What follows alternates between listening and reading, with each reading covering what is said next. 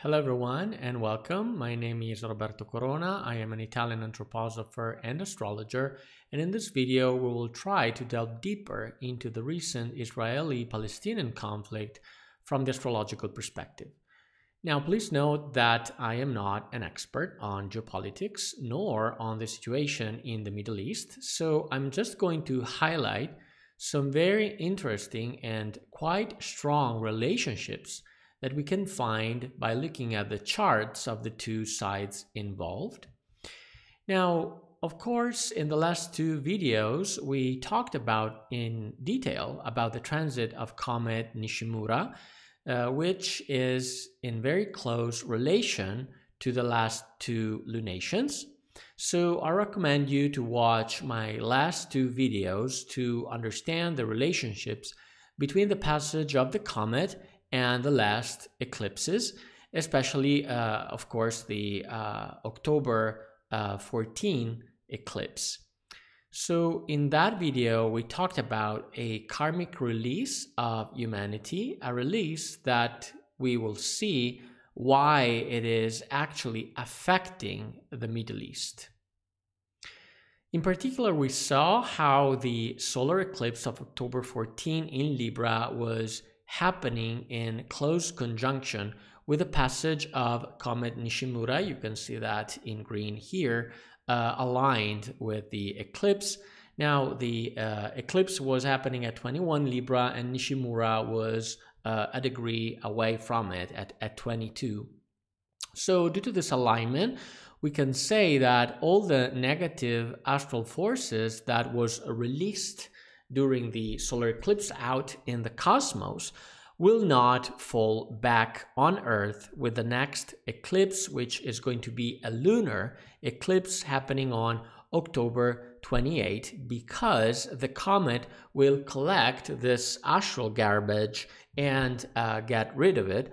Otherwise, uh, the effect would be that this garbage would come back down to Earth again due to the fact that the lunar eclipse is basically doing the opposite. So a solar eclipse expels out in the cosmos these astral uh, energies that are noxious, and uh, a lunar eclipse would bring them down back to Earth. And this is not going to happen because this process involving the, the comet is uh, a process of help coming from the spiritual world, which was uh, guided by the first hierarchy, uh, in particular the uh, seraphim and the cherubim.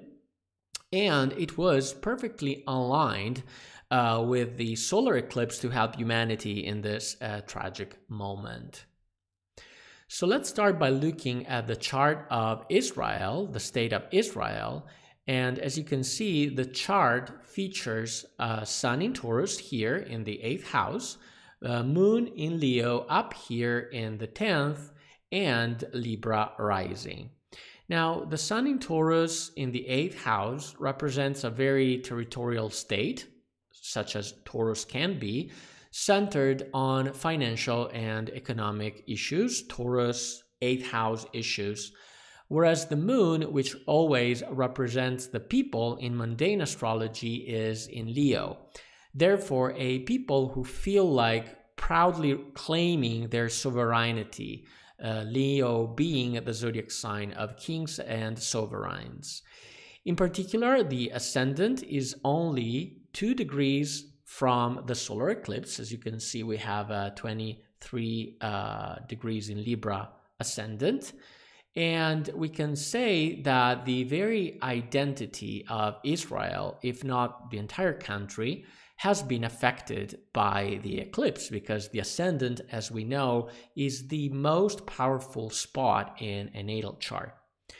Now, the Lord of the Ascendant is Venus, the ruler of Libra. And as you can see, we have Venus in Cancer in the ninth house. And we can translate this as an interest towards the uh, foreign countries. The ninth house represents, in fact, the relationship with uh, foreign countries, which in Cancer are concerned, these relationships, with a defensive, a protective aspect. And we can think of the, um, the sun of the United States of America because uh, in the chart it features a sun in Cancer. In addition to that, we can note that the North Node is in Taurus here in the seventh house, meaning that the karma which has been unleashed by the eclipse is connected to other states in general, because the seventh house represents the relationship with other states, but it is also traditionally the house of open enemies, so it makes sense. And uh, in the first house, of course, we can find the south node. And this means that the eclipse happening on the cusp of the first house, the ascendant, activated this axis. Now, the government is usually represented by Saturn, especially so in this case because we can, as we can see, Saturn is up here in Leo, and it is uh, Saturn in Leo, meaning that it is not uh, a good placement for the Saturn being the, the placement of its exile. And uh, it is in conjunction with Pluto. For this reason, we can say that the state of Israel and its government features very powerful energies, represented, of course, by Pluto, that can also become quite repressive, being Saturn in Leo, this image of an old king who doesn't want to leave the throne, so to speak. So we also have a stellium in Leo, this heap of four planets in Leo. Now, some astrologers do not consider a stellium to be such if all the planets are not in conjunction. In this case, Mars is not conjunct the others. As you can see, Mars is a little bit far away from Saturn and uh, Pluto. I personally consider it to be a stellium, especially because um, the way that I uh, translate, I interpret stelliums.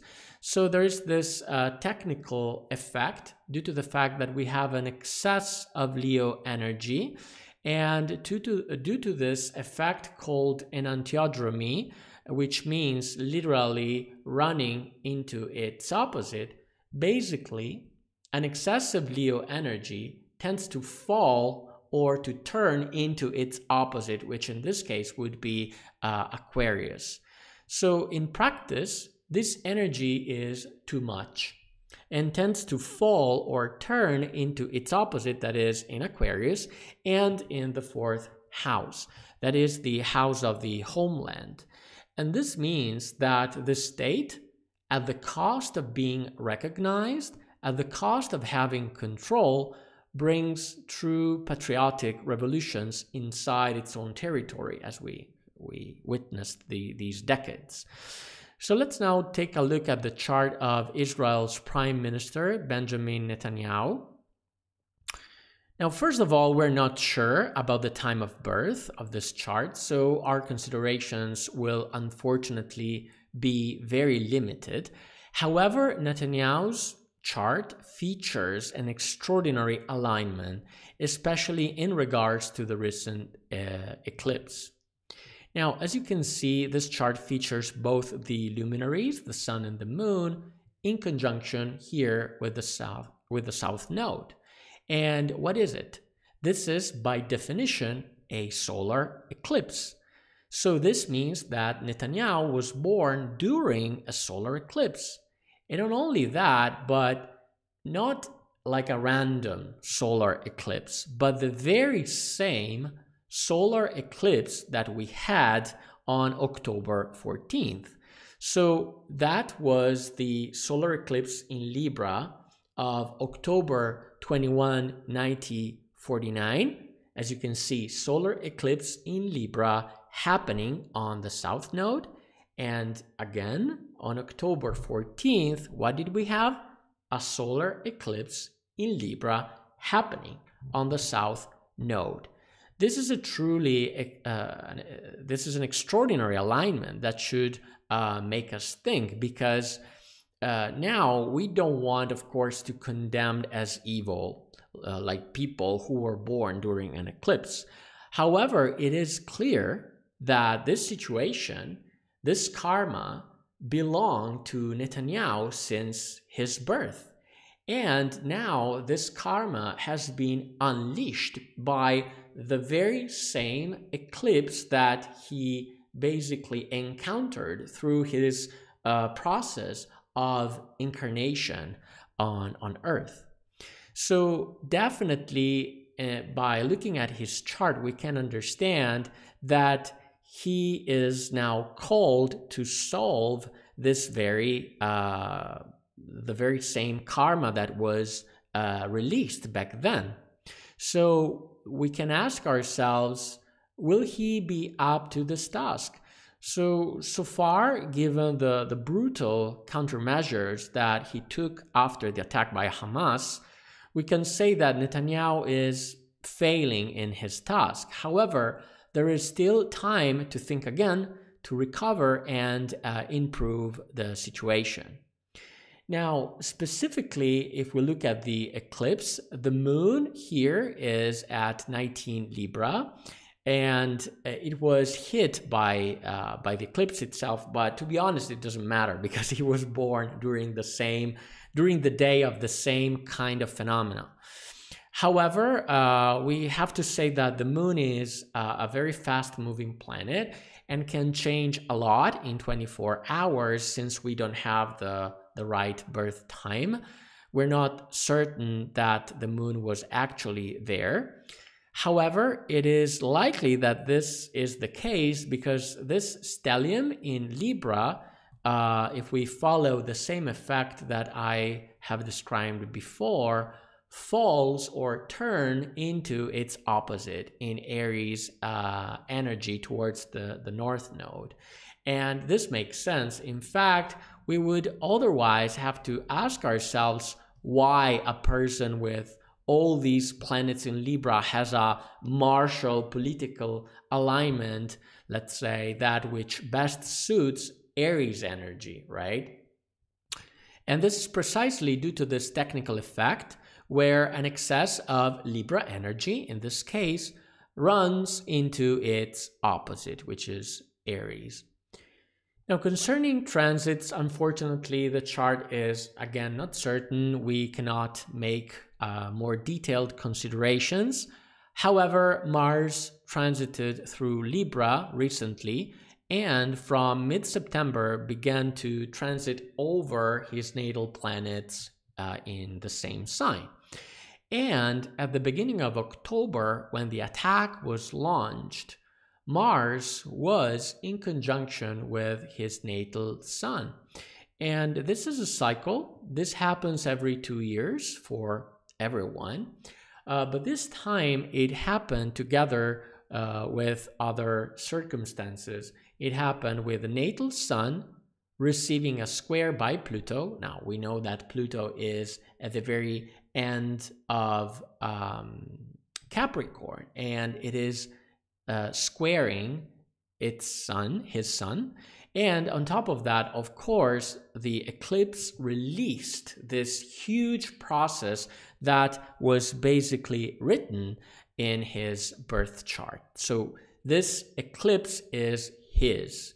It is his time to really solve uh, this very complicated uh, karma. And on top of that, in April 2024, Netanyahu will have the lunar nodes return, meaning that this karmic situation will reach a peak for him. And with the, uh, with the return of the nodes, we are supposed to make very, very important choices that are going to open for us two different branches of karma. So we need to pick one.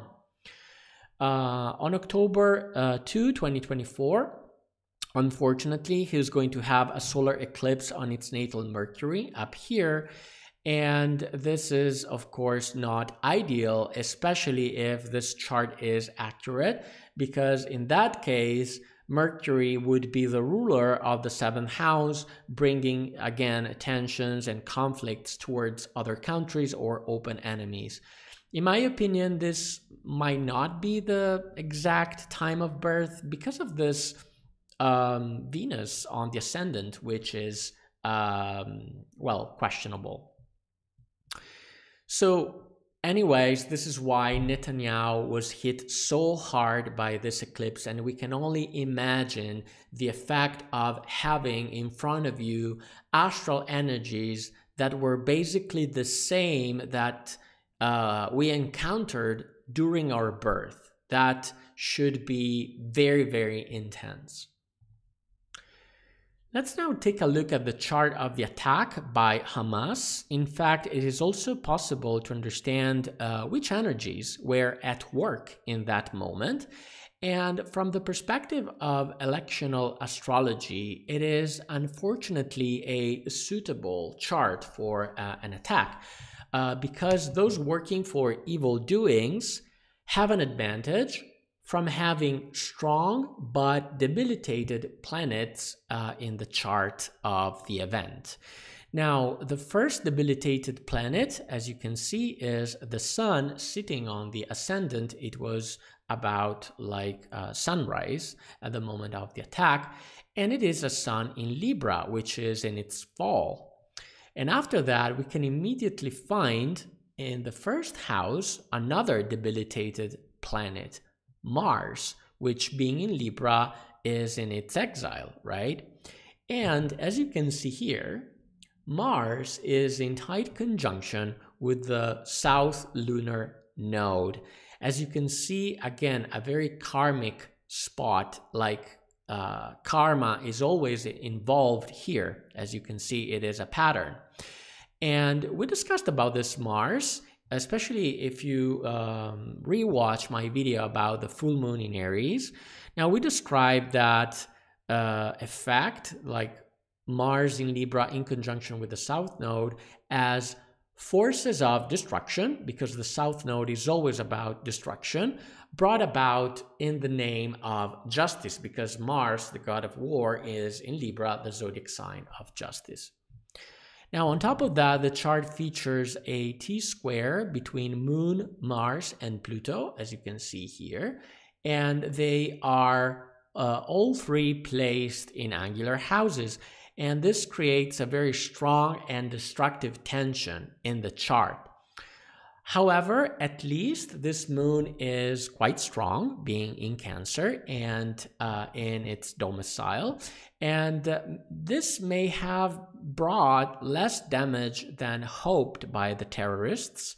However, the moon is suitable. Why is that? Because it is decreasing in light, and this is favorable for uh, destroying things. So we have a waxing moon that increases things, whereas the waning moon uh, is suitable for destroying or getting rid of something.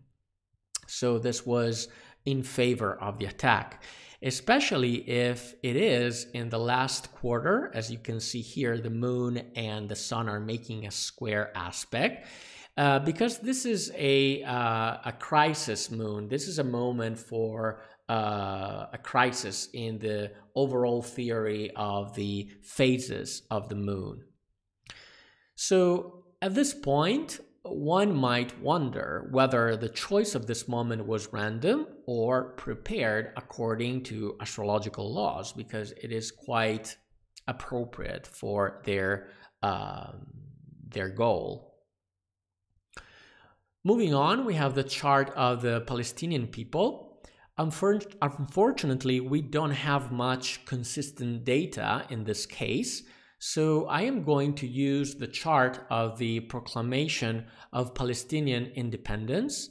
And there are other charts that can be used, so I have to take uh, this one and with a grain of salt, of course. Uh, I took as a reference the work of Jamie Partridge, an Australian astrologer who runs the website astrologyking.com. So I'm going to leave uh, the link to the to his website down in the description box. And as you can see, this chart was uh, for the proclamation on independence. So on November 15, 1988, the Palestinian National Council meeting in Algiers approved a declaration proclam- uh, declaration proclaiming the independence of the state of Palestine, with Jerusalem as its capital. Note that uh, also in this case, we have the south node here in the first house, and the other node, of course, in the opposite um, seventh house. And this obviously resonates again with this karma uh, with uh, the chart of the state of Israel that features the two nodes in the same exact placement, at least according to the houses. Now, um, let's remember that Hamas certainly does not represent the Palestinian people, even if, unfortunately, it shares uh, their fate. Now, let's take a look at the chart. So we have, in this case, Scorpio, a Scorpio sun in the fourth house, a Capricorn moon sitting on the cusp of the sixth house, and Leo rising. Now, this sun in Scorpio here in the fourth house is a strong nationalism that wants to eradicate evil from its territory. And this is because this is what Scorpio does it eradicates evil.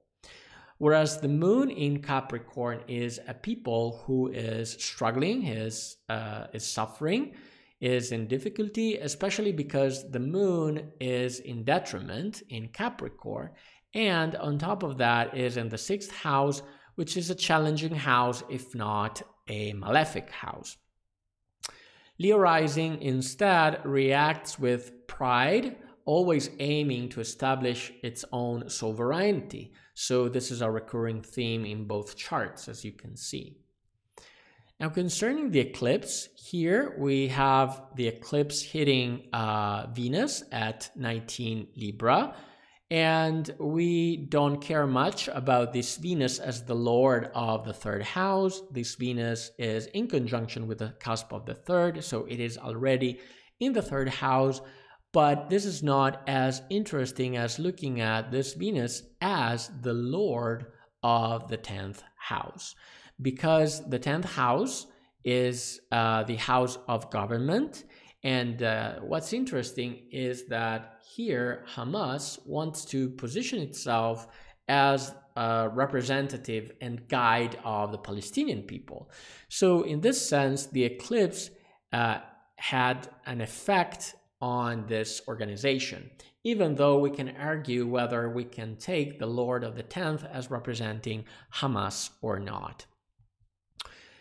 This chart is very interesting because from a synastry point of view, so if we take the chart of the state of Israel and if we take this chart, we can see that there's a clear rivalry between the two. And this is because both of the luminaries are in opposition. So sun and sun are in opposition and moon and moon are in opposition in the two charts respectively. So the sun, for example, is in this case at 23 Scorpio and in uh, the chart of Israel is at 23 Taurus. So it is in opposition. And the same applies to the moons. So we have the Palestinian moon at 28 Capricorn is in opposition to the Israel moon at 4 degrees Leo. Even though it is an out of sign uh, opposition, it is still an opposition. So there would be a lot to say, uh, but for time reasons, we are just going to look at the luminaries. And especially because the luminaries help us at least explaining what's happening uh, in the transits of the two countries. So if we take the major transits for Palestine, and now here I'm looking at long-lasting transits brought forth specifically by Uranus, Neptune, and Pluto through 2021 to 2025. So we're looking at five years. First of all, we notice a long conjunction of transiting Pluto on the natal moon. As you can see, Pluto is from 2021 making this long conjunction on the uh, Palestinian people because the moon in mundane astrology represents the people. And this means persecution and also an overwhelming feeling of being persecuted as well.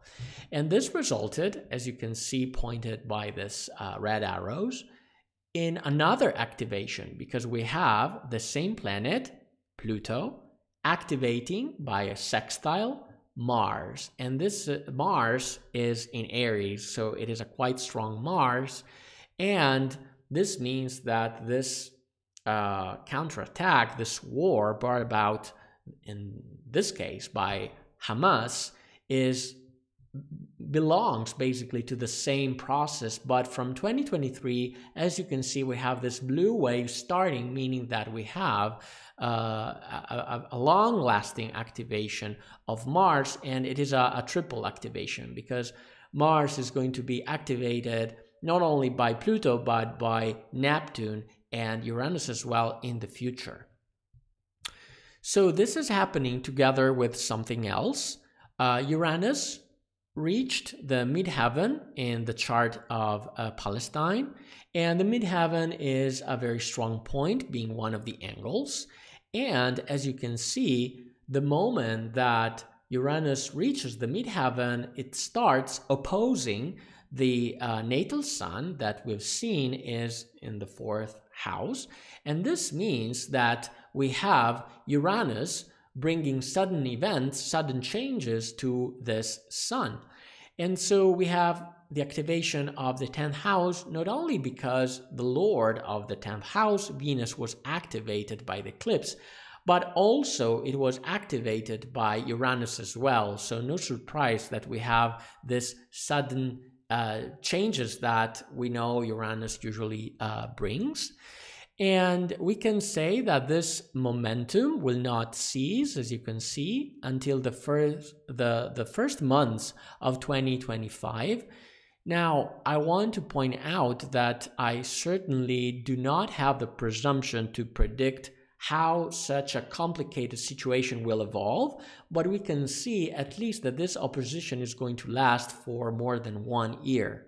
And why is this important? Because now we have taken into account mainly the moon affected by Pluto and the sun affected by Uranus.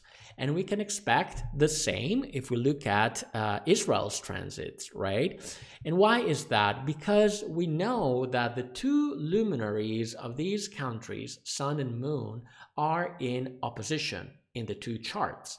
So it makes sense that Uranus itself is now in conjunction with the sun in Taurus of Israel, as you can see here, because it is making an opposition to uh, the Palestinian sun. And as you can see, we are now slowly approaching the point uh, when we're going to witness the same planet again, Pluto, beginning this opposition uh, on the um, Israelis' moon. And this means that a very difficult very complicated process is beginning for the Israeli people. Uh, and I have to say that an opposition by Pluto, in the worst case scenario, could lead Israel to a dictatorial regime. So uh, hopefully not, but this is feeling of being overwhelmed or the people being oppressed by a Plutonian energy could really translate into that. So thanks for watching. If you enjoyed this content, please like this video, subscribe to the channel, and turn on the notification bell not to miss out on future astrological insights. I am Roberto Corona. See you in the next video.